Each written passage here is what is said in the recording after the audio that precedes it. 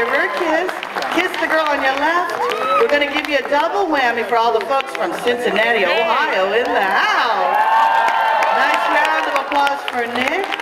He's a happy man wherever your wife is now.